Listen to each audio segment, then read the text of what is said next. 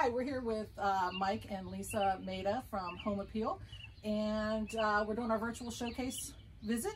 We're here at their beautiful home here in Stow, and uh, we just wanted to find out from you guys what is it that made you want to participate in the showcase?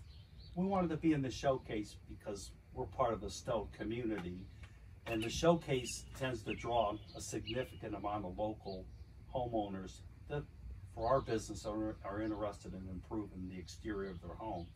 As you know, we, we are an exterior remodeler. We're able to showcase at the showcase all the products that we carry. And it's just a really exciting show. In fact, we were very sad we didn't have it this year.